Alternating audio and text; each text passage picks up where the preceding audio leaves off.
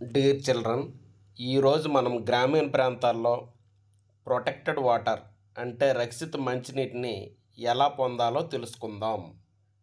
At first rain water collected from catchment areas is sent to aeration tank regenerative blower continuously blows air to aeration tank the process of mixing water with air is called aeration due to aeration process dissolved oxygen in water increases aeration ప్రక్రియ వలన నీటిలో కరిగి ఉన్న oxygen పెరుగుతుంది.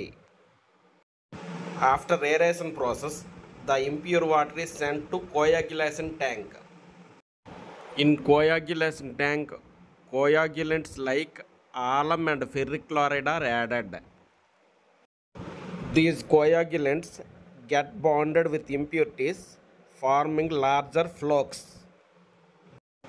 These flocks settle at the bottom of the tank.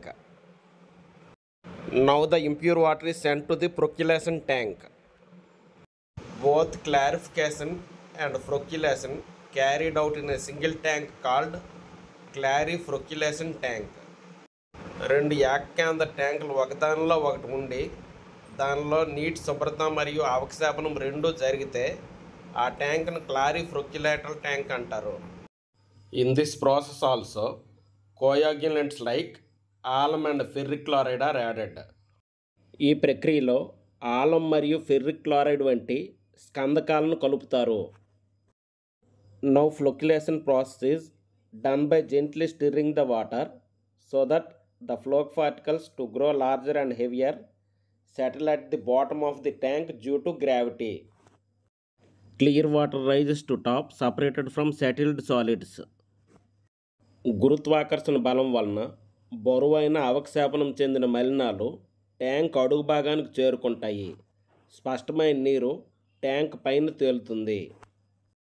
Now the water is sent to the sedimentation tank in sedimentation tank large and heavier particles settle at the bottom of the tank due to gravity This is called sludge. The sludge in the tank is removed from time to time. Now the clarified water is sent to filter tank. In filter tank, the water is passed through layers of gravel, sand, anthracite. Due to filtration, impurities in water removed and quality of water is improved. Now the quality improved water is sent to chlorination tank. In chlorination tank, chlorine or bleaching powder is added to kill bacteria, virus and other microorganisms. Now the water is tested for quality and sent to overhead tank. Now water flows from overhead tank to distribution pipes.